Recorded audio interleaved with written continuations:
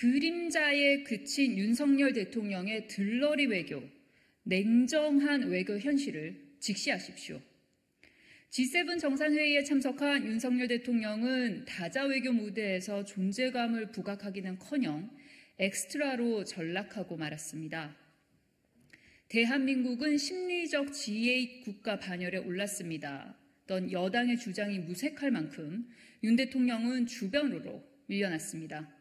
G7 정상회의는 우리의 목소리를 국제사회에 확산시킬 수 있는 절호의 자리였지만 윤석열 대통령은 한마디도 하지 않았습니다.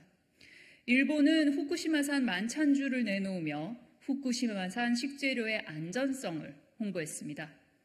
그러나 윤석열 대통령은 후쿠시마 오염수와 수산물 문제에 침묵하며 일본의 후쿠시마 홍보의 조연으로 머물렀습니다.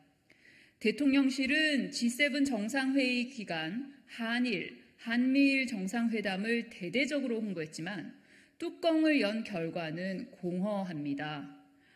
한일 정상회담은 예상을 벗어나지 않았습니다. 윤석열 대통령은 굴종 외교라는 국민의 비판을 조금도 의식하지 않는 모습이었습니다. 특히 한일 미래 파트너십 기금의 원활한 운영을 논의하며 굴종 외교에 대한 반성을 거부하는 모습을 보였습니다. 국민의 목소리에 귀맞고 오로지 일본에 양보하는 것이 대한민국의 무슨 국익에 도움이 된단 말입니까? 한미일 정상회담은 회담이라 부를 수도 없습니다.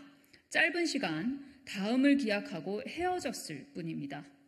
다만 한미일의 긴밀한 움직임이 동북아의 긴장을 더욱 고조시키는 시그널로 작용하는 것은 아닌지 매우 우려스럽습니다.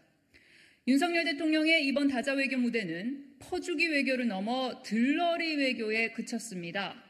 윤석열 대통령의 안이한 국제 정세 인식이 한국의 존재감을 어두운 그림자로 만들고 있습니다. 부끄러움은 국민의 몫입니다.